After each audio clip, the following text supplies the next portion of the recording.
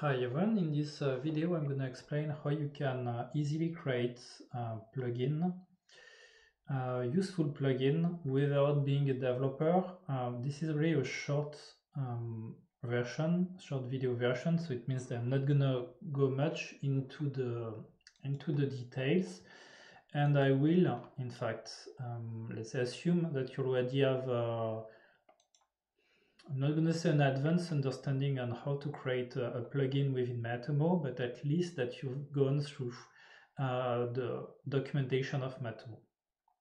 So the first thing that you need to have is uh, a dev environment. So a development environment is, let's say, nothing more than installing Matomo on your computer, okay? And uh, to use the GitHub version of um, Matomo, which is the dev uh, development version, which already have lots of uh, different uh, features which are enabled in order for you to test that everything is working fine. So I'm not going to go through all those all these parts. I will assume that you already have a Matomo ready to be break.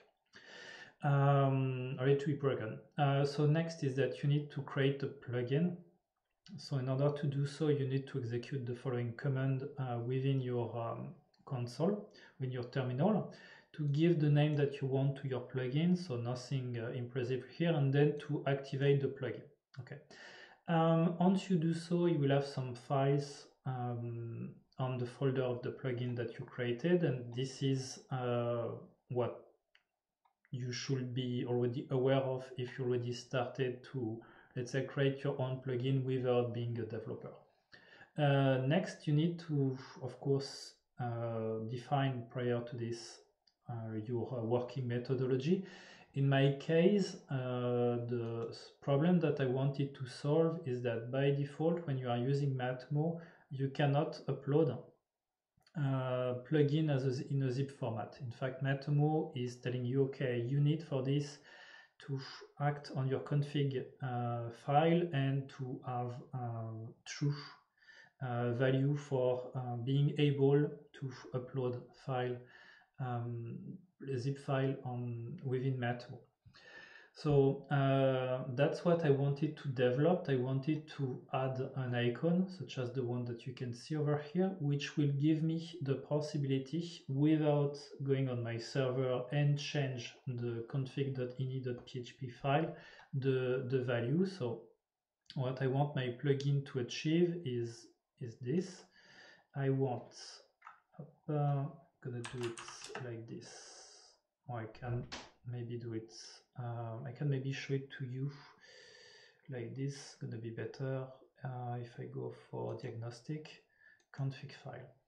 Okay so as you can see here uh, we have over here the config file and this config file the only way normally I can act on it is to go on my server and to change it. Okay so upload you see enable plugin upload the value is to one I cannot change it to zero because I just cannot do it with the UI of Matomo.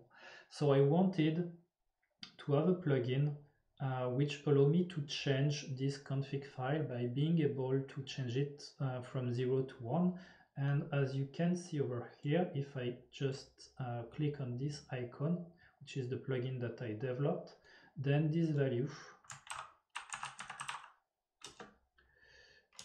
uh, this value plugin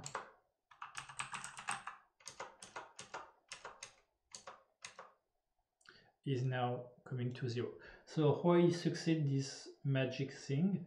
In fact, what I did is um, I just looked through the marketplace of Matomo and saw one plugin in particular that I was interested in, which is the um, development Toggle plugin. And this plugin is in fact uh, doing exactly the, the same thing. It's just that it's going to act on uh, the line of the config.ini PHP uh, file in order to do exactly the same thing, but just for the development mode. Okay, so if I go like this, development, as you can see here, uh, you get those two parameters which can as well go to zero if changes are made. So Um, my point here is that the plugin that I wanted to develop as a clone or a cousin, which was already doing exactly the same thing, but just for another, let's say, line of the config.ini.php file. So as far as I knew that, and as far as the plugin developed by uh, this person, with nothing more than Lukas Winkler, that I would like to say hi again and thank you for all his friendship and support, uh, already developed and developed it under the GPL3 uh, license version, which means that I'm free to in fact audit it and view what's inside. So if I go on uh, the developer uh, repository and GitHub, so you can access to it uh, through the plugins that uh, uh, marketplace of Matomo. Um, what I did is I just audit the different Uh, code that he developed. And here we have in fact two files that we would like to, to have is the controller and the menu. So menu is the file which allow you to place the icon at the top bar of the admin, in fact, to make the plugin accessible. And the controller.php is in fact the file which is doing all the magic. In order to get the menu.php and the controller.php, you need uh, to create them. So in order to create them, you just need to go on uh, your um, uh, you just need to go over here and uh, to create them. So you just need to execute uh, console uh, generate controller and same thing for the menu and it's gonna create in fact those two files with the default configuration and what I did after that is in fact I just copy and paste uh, the code that Lukas already developed in which I changed development toggle over here by the name of my plugin. Here uh, those are the different dependencies which are needed for the feature to work. Uh, those features do not change at all, they are exactly the same. In fact, what uh, this one is, is doing, the Piwik one, uh, it's in fact giving an access to this plugin only to uh, someone who has a super user access. Then uh, here Lukas defined uh, the variable that you would like to play with. So this one is really created by on, on your own. Uh, true correspond to the value 1 in the config.ini.php file and you can see here development enable correspond to the category of the config.ini.php file in which you would like uh, to send the value to. So here this is the category and this is the value that we would like uh, to push. So typically if uh, you look at, um, at the terminal over here, at the terminal, if you look at the config.ini.php file, it will it will make sense because as you can see, uh, the file is configured this way. So you get general and here you have exactly what you want. So in my case, instead of being development value equal 1, it will be general value equal 1. So as you can see, it's nothing crazy to, let's say, duplicate this plugin and adapt it. So in my case, I removed this line because uh, Lukas plugin was based on, on two values. In my case, just had one. And then dealing with the other part, which is the menu.php.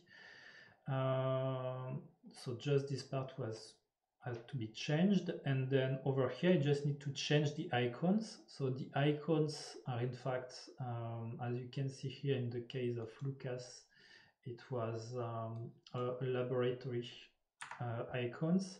And it was as well a, a user icon. You see those those two icons over here this in this one. Those are coming from uh, the um, so the development mode needs to be on in order for you to, to see it. The Matomo uh, demo UI which is over here UI demo. And at the bottom you are getting the value for the different icons. So typically in my case I decided to use this one because that's the icon upload and this one because it shows that somehow you cannot upload any icons and I went on my code and I adapted those. So as you can see over here in the menu.php, I changed with the icon upload and icon locked, locked and icon upload.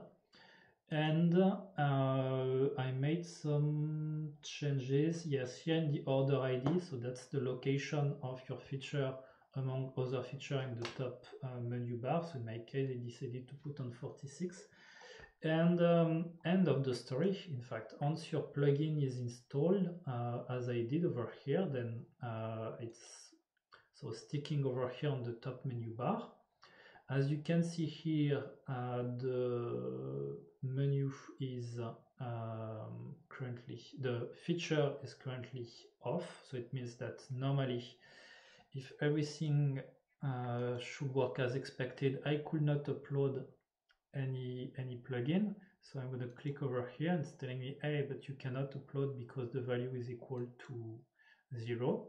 And if I click over here then the icon is gonna switch to the other one and now I cannot uh, now I can in fact upload my, my plugin.